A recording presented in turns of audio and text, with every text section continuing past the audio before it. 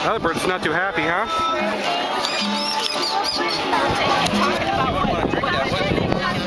That oil could come from your car. So you gotta make sure your car's not leaking oil. That's all gonna end up in the creek.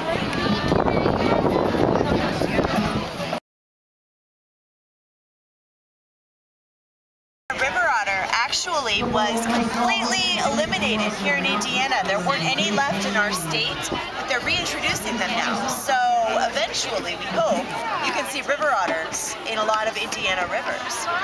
So let's do a show of hands. Who thinks our new mascot should be the Indiana bat? Three, four. What about the river otter? River otter, yeah. All right. Thank you so much for your votes, guys. I have got tickets for you. Yes, we're taking second into the Indiana wildlife. And, with a bit of luck, we get them back out into the wild again. Yeah. Uh, that's not always possible. Do you do the physical repairs or you take them to a We have doctor? we have some uh, like an avian vet that works with us. Um, that can actually do uh, surgery. Really? You know, when you turn the faucet on and you get all that nice clean water, well, this is how we clean it. And um, So our water in Zionsville comes from Cedar Creek. you're, yeah, Okay. you guys get water from Eagle Creek Reservoir, so I've got that for you, so you can learn more about that. And you guys can have some of these afterwards if you want to. So you guys get your water from Eagle Creek, and on a nice rainy day, probably looks a lot like this, doesn't it?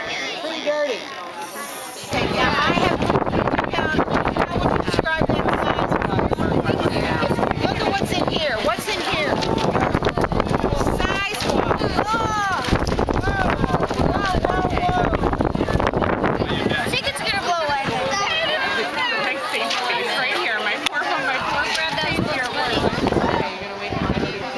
All right, what is the sand taking out, you guys? What's the sand taking out?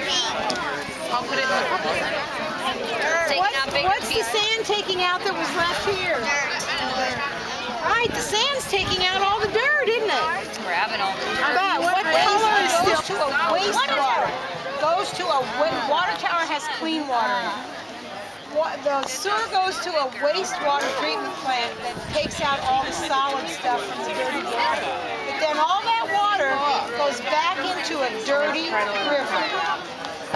So all the clean water that you waste down the sewer goes right back into a dirty